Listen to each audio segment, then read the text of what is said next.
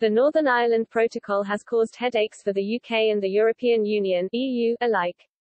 Both have agreed it is no longer effective, but neither side wants to make serious concessions to the other. As the EU sets out its new plans for UK trade today, there's one compromise both sides could be forced to make over the European Court of Justice ECJ, however.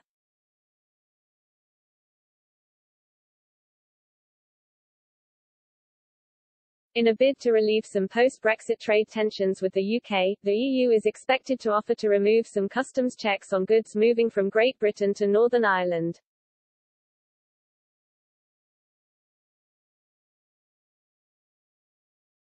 These cuts should ensure the easy flow of goods, such as animal products and medicines, between Great Britain and Northern Ireland.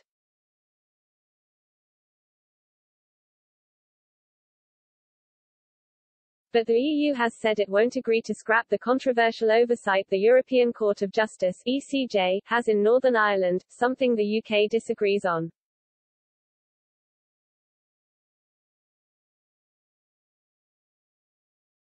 So how will negotiators solve this so-called red line? One solution used by Switzerland has been put forward.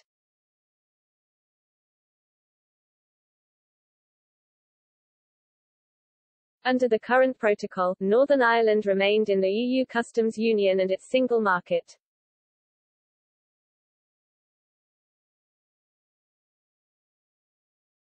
This was done to avoid a hard customs border on the island of Ireland.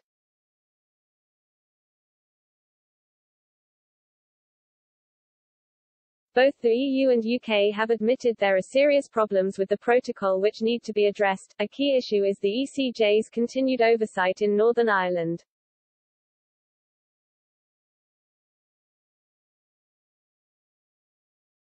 The UK's Brexit minister, Lord Frost, has repeatedly called for the EU to change its position on the role the ECJ has in Northern Ireland.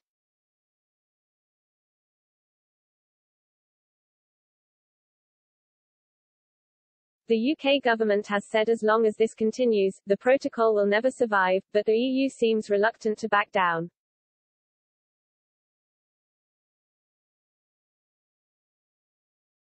BBC's Europe editor Katya Adler tweeted, In Brussels I'm told not to expect the EU to engage tomorrow on Lord Frost's request to scrap the oversight role the ECJ, European Court of Justice, has in the protocol. EU figures describe this as a red line.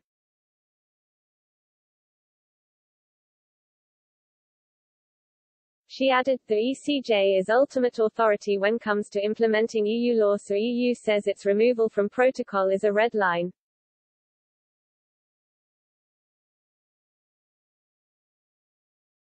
But Ms. Adler did suggest a compromise both sides may have to make to resolve this key point of contention.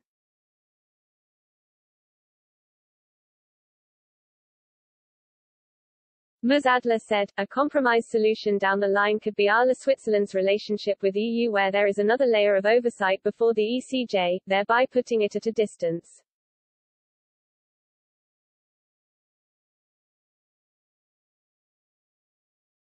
But even if the EU proposed this there is no guarantee that the UK's government would agree.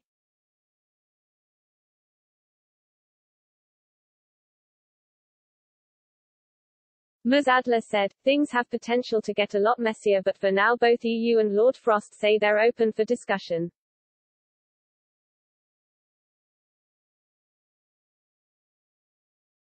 So far the UK has made it clear they find the current situation unacceptable.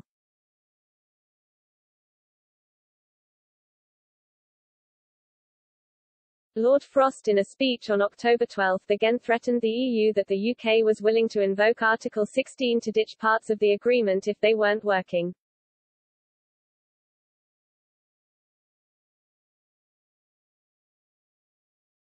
Lord Frost said, We would not go down this route gratuitously or with any particular pleasure but it is our fundamental responsibility to safeguard peace and prosperity in Northern Ireland and that is why we cannot rest until this situation is addressed.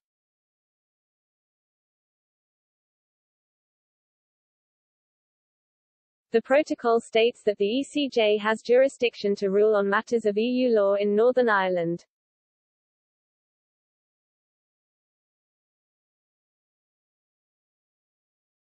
This means if there was a disagreement around applicable EU law then the EU could take the UK to the ECJ.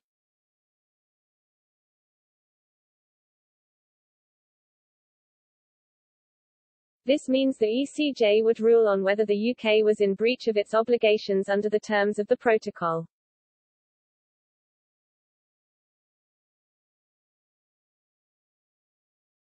This would force the UK to be subject to court proceedings in the same way as an EU member state.